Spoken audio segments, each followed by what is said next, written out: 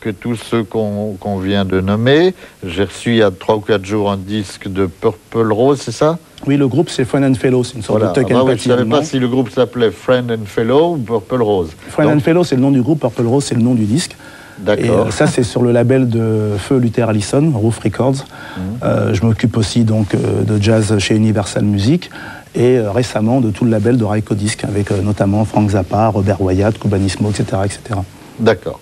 Ok. Alors, euh, Hendrix, euh, euh, je crois qu'on va avoir des images magnifiques qu'on va pouvoir montrer à nos amis à, l'écoute.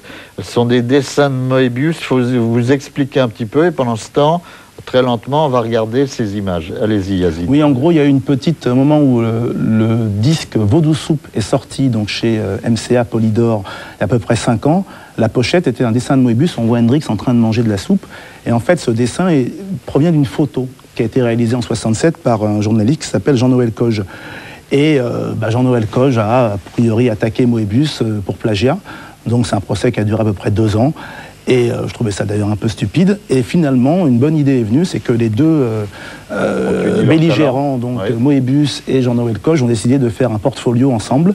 Comme ça, on arrête les frais. Et ce qui fait que sur des photos originales de Jean-Noël Coge, Moebius a fait 13 dessins. Donc c'est un portfolio édité par Stardom. Il y a 500 exemplaires dans le monde et c'est magnifique. Ok, ben on vient d'en voir pendant que vous parliez quelques, quelques images. Effectivement, ça, ça a l'air très beau. Et quoi, c'est en vente dans les Ah ben, librairies, vente, par chez tous les bons euh, libraires. D'ailleurs, ils vont peut-être même sortir plus tard un livre, parce que là, c'est quand même assez Oui. conséquent. Donc, il est prévu aussi la même chose, mais en livre. D'accord. Ok. Alors, euh, j'essaye de regarder mes notes. Je crois qu'on a parlé un petit peu de tout. Euh, on va regarder un clip de Jimi Hendrix. Ça vous fait plaisir, ça Oui, je vais quand même dire qu'on Oui. a ressorti il n'y a pas longtemps l'album Blues. Voilà. Euh, Alors, une pas, on l'a- euh, on l'a bantitré. Si vous le retrouvez. euh, Non, mais c'est Euh, pas grave. Par bon. contre, l'important, c'est quand même euh, le 22 février va sortir le dixième album donc de la famille Hendrix maintenant depuis 97. C'est euh, Live at Fillmorist. Donc c'est pratiquement l'album le plus connu au monde d'Hendrix, c'est le Ben of Gypsies. Parce que euh, le Ben of Gypsies, comme les gens ne le savent pas, c'était un- en fait une réunion de deux concerts. Donc ce que les gens connaissent depuis plus de 20 ans, c'est une réunion de deux concerts. Mais en fait, ce soir-là, la nuit de la Saint-Sylvestre, Hendrix a fait quatre concerts. Deux concerts avant minuit et deux concerts après minuit.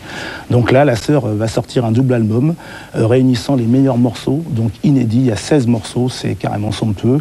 Et on attend ça avec beaucoup, beaucoup d'impatience. Voilà. Bon. Et dites-nous alors quelques mots du clip qu'on va voir maintenant.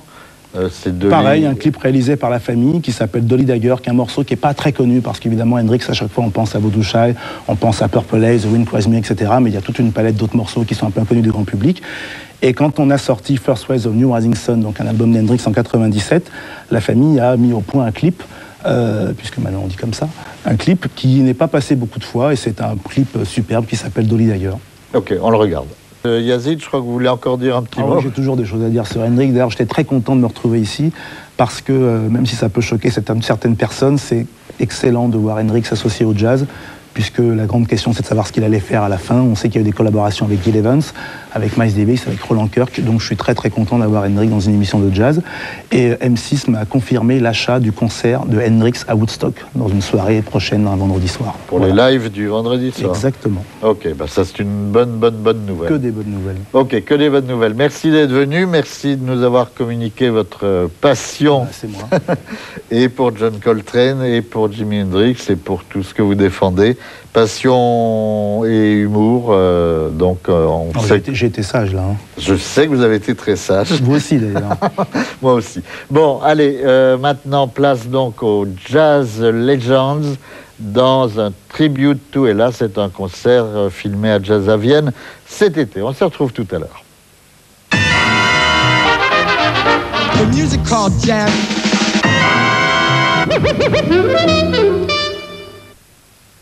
La torpeur du 08 36 68 12 00, viens t'abandonner à moi. 08 36 68 12 00, hum, c'est tellement chaud. Si tu n'as pas froid aux yeux, viens jouer avec nous sur le 08 36 68 3004. Waouh 08 36 68 3004.